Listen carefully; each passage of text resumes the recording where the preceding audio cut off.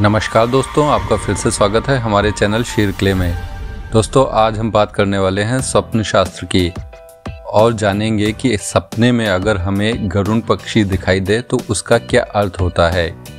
दोस्तों, हिंदू धर्म में गरुण को या गरुण पक्षी को काफ़ी बुद्धिमान और शक्तिशाली पक्षी माना गया है। गरुण को हिंदू धर्म में भगवान विष्णु का वाहन माना गया है। तो साथ ही बौद्ध धर्म में भी महत्वपूर्ण पक्षी माना गया है। बौद्ध ग्रंथों के अनुसार गरुण को सुपर्ण मतलब अच्छे पंख वाला कहा गया है। गरुण का शिकार सर्प है और उसकी उड़ान आसमान की ऊंचाइयों को छूती है।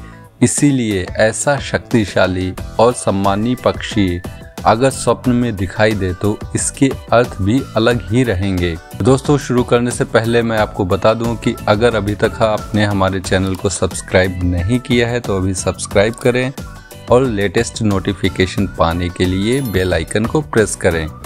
तो दोस्तों, गरुण पक्षी को सपने में देखने के पहले हम जानते हैं कि अक्षय परिणाम क्या क्या हो सकते हैं। उसके बाद में जानेंगे बुरे परिणाम।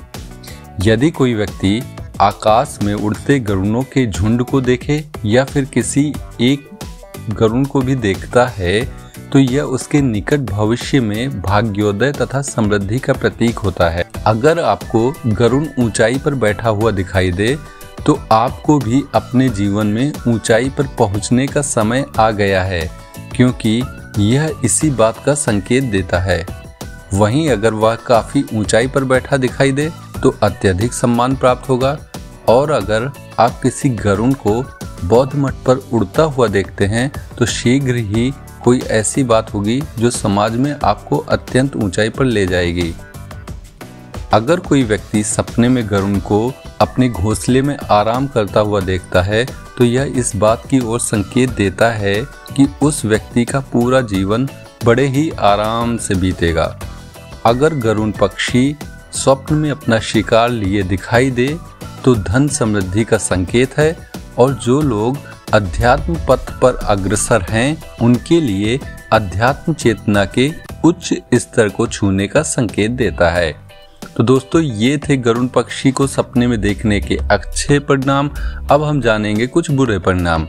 वैसे तो गरुण को एक रक्षक के रूप में देखा जाता है, पर वह स्वप्न देखने वाले के सिर पर बैठा दिखाई दे तो यह किसी अप्रिय घटना की ओर इशारा करता है। अगर सपने में दो गरुण आपस में लड़ते हुए दिखाई दें तो इसका मतलब आपको व्यापार अथवा कैरियर के लिए संघर्ष करना पड़ सकता है। वहीं, अगर सपने में गरुण को ज़मीन पर बैठा हुआ देखते हैं तो यह कहीं न कहीं पतन की ओर इशारा करता है।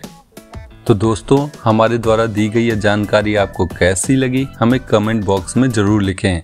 और अगर आपको हमारा यह वीडियो पसंद आया हो तो चैनल को सब्सक्राइब व वीडियो को लाइक एंड शेयर करना न भूलें।